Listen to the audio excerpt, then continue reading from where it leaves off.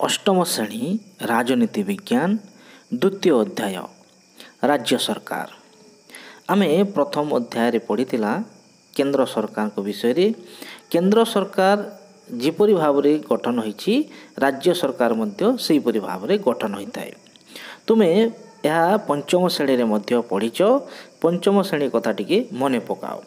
ଆମ ରାଜ୍ୟର ଶାସନ ବ୍ୟବସ୍ଥା ଆମ ରାଜ୍ୟର ଶାସନ ବ୍ୟବସ୍ଥା ତିନି ଭାଗରେ ବିଭକ୍ତ ହୋଇଛି ଗୋଟିଏ ବିଭାଗ ଆଇନ ଗଢ଼େ ଆଉ ଗୋଟିଏ ବିଭାଗ ଆଇନକୁ କାର୍ଯ୍ୟକାରୀ କରେ ଆଉ ଗୋଟିଏ ବିଭାଗ ଆଇନର ତର୍ଜମା କରେ ତ ପାଖାପାଖି କେନ୍ଦ୍ର ଓ ରାଜ୍ୟ ସରକାରମାନଙ୍କର ଶାସନର ଢାଞ୍ଚା ସମାନ ଅଟେ କେନ୍ଦ୍ର ସରକାର ପରି ପ୍ରତି ରାଜ୍ୟରେ ଗୋଟିଏ ସଂସଦୀୟ ଗଣତାନ୍ତ୍ରିକ ଶାସନ ବ୍ୟବସ୍ଥା ରହିଛି କେନ୍ଦ୍ର ସରକାରଙ୍କ ପରି ପ୍ରତ୍ୟେକ ରାଜ୍ୟ ସରକାରରେ କାର୍ଯ୍ୟପାଳିକା ବ୍ୟବସ୍ଥାପିକା ଆଉ ନ୍ୟାୟପାଳିକା ରହିଛି।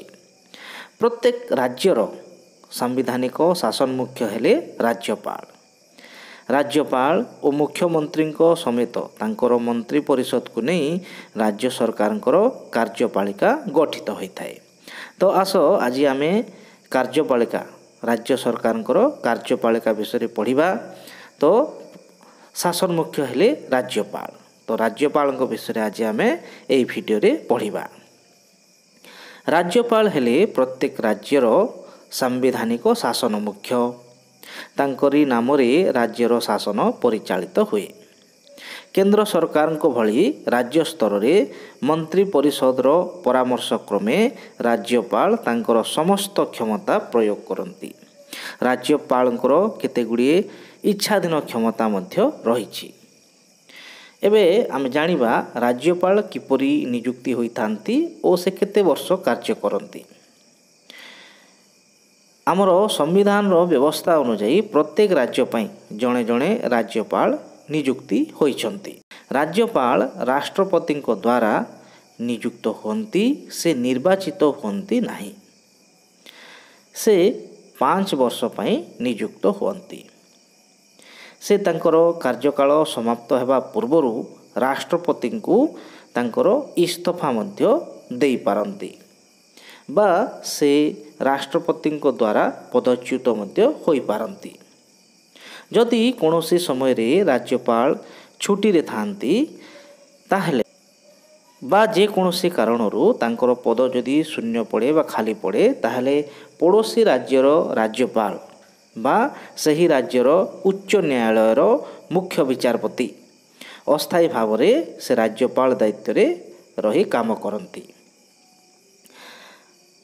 ନୂତନ ଭାବରେ ନିଯୁକ୍ତ ହୋଇଥିବା ରାଜ୍ୟପାଳଙ୍କୁ ରାଜ୍ୟର ଉଚ୍ଚ ନ୍ୟାୟାଳୟର ମୁଖ୍ୟ ବିଚାରପତି ଶପଥ ପାଠ କରାନ୍ତି। ଜଣେ ରାଜ୍ୟପାଳ ହେବା ପାଇଁ ଯୋଗ୍ୟତା କ'ଣ ଥିବା ଦରକାର?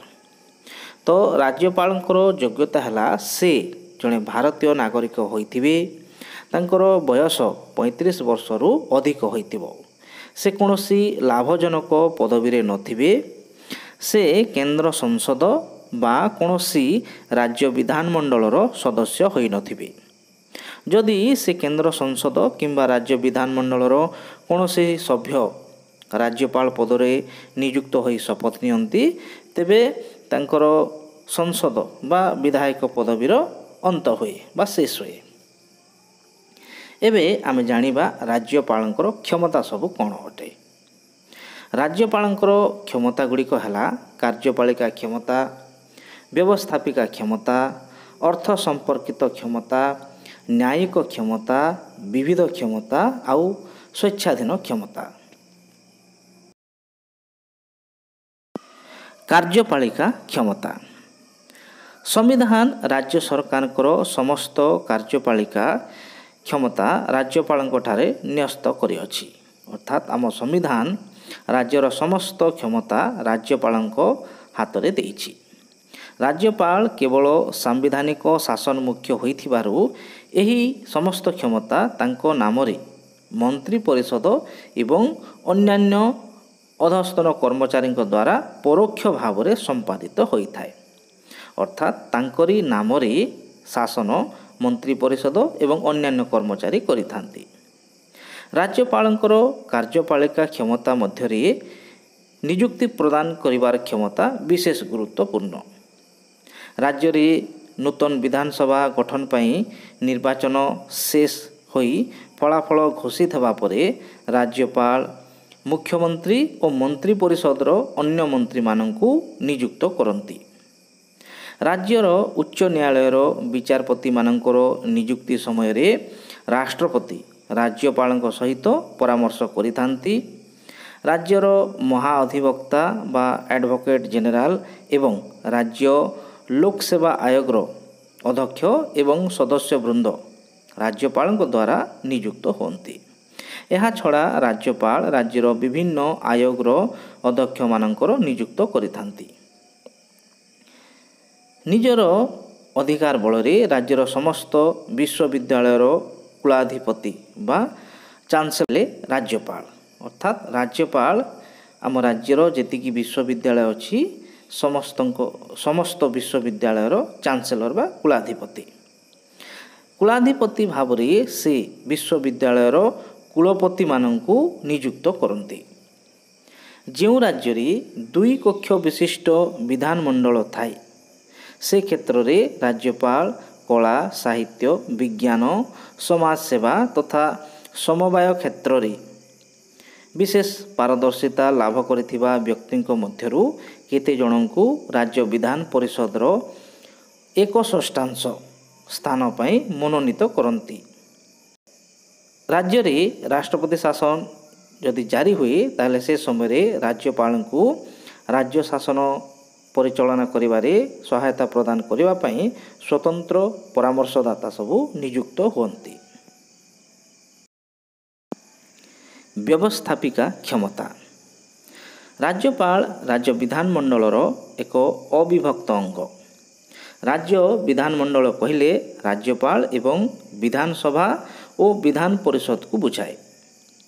ରାଜ୍ୟପାଳ ବିଧାନମଣ୍ଡଳର ଏକ ବା ଉଭୟ ଗୃହର ଅଧିବେଶନକୁ ଆହ୍ୱାନ କରନ୍ତି ଆଉ ଅଧିବେଶନର ପରିସମାପ୍ତି ବା ପ୍ରରୋଗ ଘୋଷଣା କରନ୍ତି ଏବଂ ଆବଶ୍ୟକ ସ୍ଥଳେ ସେ କେବଳ ବିଧାନସଭାକୁ ଭଙ୍ଗ କରିଥାନ୍ତି। ବିଧାନସଭାର ପ୍ରଥମ ଅଧିବେଶନ ଓ ପ୍ରତିବର୍ଷର ପ୍ରଥମ ଅଧିବେଶନ ଆରମ୍ଭରେ ରାଜ୍ୟପାଳ ତାଙ୍କର ଲିଖିତ ଅଭିଭାଷଣ ବିଧାନସଭାରେ ପାଠ କରନ୍ତି। ଏଥିରେ ସରକାରଙ୍କର ନୀତି ଆଉ କର୍ମପନ୍ଥା ସବୁ ସୂଚିତ ହୋଇଥାଏ। ଆବଶ୍ୟକ ସ୍ଥଳେ ରାଜ୍ୟପାଳ ବିଧାନସଭାକୁ ପ୍ରଶାସନ ସମ୍ପର୍କିତ ବାର୍ତ୍ତା ବା ମେସେଜ ପଠାଇଥାନ୍ତି ପ୍ରତ୍ୟେକ ଚିଠା ଆଇନ ବା ବିଲ୍ ବିଧାନସଭାରେ ବା ବିଧାନମଣ୍ଡଳର ଉଭୟ ଗୃହରେ ନିର୍ଦ୍ଦିଷ୍ଟ ପଦ୍ଧତିରେ ଗୃହୀତ ହେବା ପରେ ରାଜ୍ୟପାଳଙ୍କର ସମ୍ମତି ପାଇଁ ତାଙ୍କ ପାଖକୁ ପଠାଯାଏ। ରାଜ୍ୟପାଳଙ୍କର ବ୍ୟବସ୍ଥାପିକା କ୍ଷମତାର ଅନ୍ୟ ଏକ ଗୁରୁତ୍ୱପୂର୍ଣ୍ଣ ଆଉ ତାତ୍ପର୍ଯ୍ୟପୂର୍ଣ୍ଣ ବ୍ୟବସ୍ଥାଟି ହେଲା ଅଧ୍ୟାଦେଶ ବା ଅର୍ଡ଼ିନାନ୍ସ ଜାରି କରିବା। ଅର୍ଡ଼ିନାନ୍ସ ହେଉଛି ବା ଅଧ୍ୟାଦେଶ ହେଉଛି ଏକ କାର୍ଯ୍ୟନିର୍ବାହୀ ଆଇନ ବା ଏକ୍ଜିକ୍ୟୁଟିଭ୍ ଲ ବା ଅସ୍ଥାୟୀ ଆଇନ ବା ଏହାକୁ ସ୍ୱଳ୍ପକାଳୀନ ଆଇନ ମଧ୍ୟ କୁହାଯାଇପାରେ। ଅର୍ଥ ସମ୍ପର୍କିତ କ୍ଷମତା। ରାଷ୍ଟ୍ରପତିଙ୍କ ପରି ରାଜ୍ୟପାଳଙ୍କର ଅର୍ଥ ସମ୍ପର୍କିତ କ୍ଷମତା ରହିଛି। କୌଣସି ଅର୍ଥ ସମ୍ପର୍କିତ ଚିଠା ଆଇନ ବା ଅର୍ଥ ବିଲ୍ ବିଧାନସଭାରେ ଆଗତ କରାଯାଏ ନାହିଁ।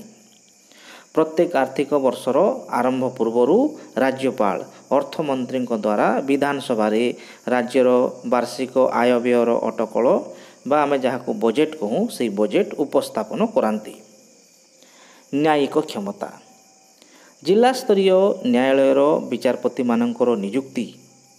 ରାଜ୍ୟପାଳଙ୍କର ନ୍ୟାୟିକ କ୍ଷମତା ଅନ୍ତର୍ଭୁକ୍ତ ଅର୍ଥାତ୍ ଜିଲ୍ଲାସ୍ତରୀୟ ନ୍ୟାୟାଳୟର ବିଚାରପତିମାନଙ୍କର ନିଯୁକ୍ତି ରାଜ୍ୟପାଳ କରାନ୍ତି। ରାଜ୍ୟର ଉଚ୍ଚ ନ୍ୟାୟାଳୟର ବିଚାରପତିମାନଙ୍କର ନିଯୁକ୍ତି ସମୟରେ ମଧ୍ୟ ରାଷ୍ଟ୍ରପତି ରାଜ୍ୟପାଳଙ୍କ ସହିତ ପରାମର୍ଶ କରିଥାନ୍ତି।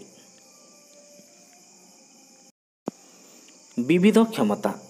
ରାଜ୍ୟପାଳ ରାଜ୍ୟରେ କେନ୍ଦ୍ର ସରକାରଙ୍କ ପ୍ରତିନିଧି ଭାବରେ କାର୍ଯ୍ୟ ସମ୍ପାଦନ କରନ୍ତି। ତେଣୁ ପ୍ରତି ପନ୍ଦର ଦିନରେ ଥରେ ରାଜ୍ୟ ଶାସନ ସମ୍ପର୍କରେ ସେ ରାଷ୍ଟ୍ରପତିଙ୍କୁ ପାକ୍ଷିକ ରିପୋର୍ଟ ପ୍ରଦାନ କରନ୍ତି ବା ପନ୍ଦର ଦିନିଆ ରିପୋର୍ଟ ପ୍ରଦାନ କରନ୍ତି। ସାମ୍ବିଧାନିକ ବ୍ୟବସ୍ଥା ଅନୁସାରେ କୌଣସି ରାଜ୍ୟରେ ରାଜ୍ୟ ଶାସନ ଚାଲି ନ ପାରିଲେ ସେହି ରାଜ୍ୟରେ ରାଷ୍ଟ୍ରପତି ଶାସନ ଜାରି କରିବା ପାଇଁ ରାଜ୍ୟପାଳ ରାଷ୍ଟ୍ରପତିଙ୍କୁ ପରାମର୍ଶ ଦେଇଥାନ୍ତି। ରାଜ୍ୟରେ ଥିବା ବିଶ୍ୱବିଦ୍ୟାଳୟମାନଙ୍କର ସମାବର୍ତ୍ତନ ଉତ୍ସବରେ ସେ କୁଳାଧିପତି ଭାବରେ ଅଧ୍ୟକ୍ଷତା କରନ୍ତି ଓ ଦୀକ୍ଷାନ୍ତ ଅଭିଭାଷଣ ପ୍ରଦାନ କରନ୍ତି। ରାଜ୍ୟପାଳ ହେଉଛନ୍ତି ରାଜ୍ୟ ରେଡ୍ କ୍ରସ୍ ସଂସ୍ଥାର ମୁଖ୍ୟ। ସାଧାରଣତନ୍ତ୍ର ଦିବସରେ ରାଜ୍ୟପାଳ ଜାତୀୟ ପତାକା ଉତ୍ତୋଳନ କରିବା ପରେ ରାଜ୍ୟସ୍ତରୀୟ ପ୍ୟାରେଡ଼ରେ ଅଭିବାଦନ ଗ୍ରହଣ କରନ୍ତି। ସ୍ୱେଚ୍ଛାଧୀନ କ୍ଷମତା। ରାଜ୍ୟପାଳ ଅନେକ ସମୟରେ ମନ୍ତ୍ରୀ ପରିଷଦର ପରାମର୍ଶ ଦ୍ୱାରା ପରିଚାଳିତ ନ ହୋଇ ନିଜର ବୁଦ୍ଧି ଓ ବିବେକ ଦ୍ୱାରା ପରିଚାଳିତ ହୁଅନ୍ତି। ସେହି କ୍ଷମତାକୁ ରାଜ୍ୟପାଳଙ୍କର ସ୍ୱେଚ୍ଛାଧୀନ କ୍ଷମତା କୁହାଯାଏ। ରାଜ୍ୟପାଳଙ୍କର ଇଚ୍ଛାଧୀନ କ୍ଷମତା ବିଷୟରେ କୌଣସି ପ୍ରଶ୍ନ ନ୍ୟାୟାଳୟରେ ଉତ୍ଥାପିତ ହୁଏ ନାହିଁ। ରାଜ୍ୟପାଳଙ୍କର ଭୂମିକା। ରାଜ୍ୟପାଳଙ୍କର ମୁଖ୍ୟତଃ ଦୁଇଟି ଭୂମିକା ଅଛି। ଗୋଟିଏ ପଟେ ସେ ହେଉଛନ୍ତି ରାଜ୍ୟ ପ୍ରଶାସନର ସାମ୍ବିଧାନିକ ଶାସନ ମୁଖ୍ୟ ଆଉ ଅନ୍ୟପଟେ ରାଜ୍ୟପାଳ ହେଉଛନ୍ତି ରାଜ୍ୟରେ କେନ୍ଦ୍ର ସରକାରଙ୍କର ପ୍ରତିନିଧି। ସେ ରାଜ୍ୟରେ କେନ୍ଦ୍ର ସରକାରଙ୍କର ଚକ୍ଷୁ ଓ କର୍ଣ୍ଣ ପରି କାମ କରନ୍ତି। ନିଜର କାର୍ଯ୍ୟନିପୁଣ ସାମ୍ବିଧାନିକ ଦାୟିତ୍ୱ ରାଜନୈତିକ ତଥା ପ୍ରଶାସନିକ ପରିପକ୍ୱତା ଓ ସର୍ବୋପରି ବଳିଷ୍ଠ ବ୍ୟକ୍ତିତ୍ୱ ରାଜ୍ୟପାଳ ପଦବୀକୁ ଅଧିକ ସମ୍ମାନାସ୍ପଦ କରିଥାଏ ନିଜର ଦ୍ୱୈତ ଭୂମିକାରେ ରାଜ୍ୟପାଳ ନିର୍ବିବାଦୀୟ ହେବା ବାଞ୍ଛନୀୟ ଅର୍ଥାତ୍ ତାଙ୍କର ଦୁଇଟି ଯେଉଁ ରୋଲ୍ ଅଛି ଗୋଟେ ହେଲେ ସେ ରାଜ୍ୟର ଶାସନ ମୁଖ୍ୟ ଆଉ ଅନ୍ୟଟି ହେଲେ ସେ କେନ୍ଦ୍ର ସରକାରଙ୍କର ପ୍ରତିନିଧି। ତ କୌଣସିଥିରେ ମଧ୍ୟ କୌଣସି ବିବାଦ ଉପୁଜିବ କଥା ନୁହଁ। ରାଜ୍ୟପାଳଙ୍କର ବାସ୍ତବ ଭୂମିକା ହେଉଛି ଗୋଟିଏ ଦାର୍ଶନିକ ଗୋଟିଏ ବନ୍ଧୁ ଓ ଗୋଟିଏ ମାର୍ଗଦର୍ଶକର ଭୂମିକା। ତ ଏହା ଥିଲା ରାଜ୍ୟପାଳଙ୍କ ବିଷୟରେ। ଧନ୍ୟବାଦ।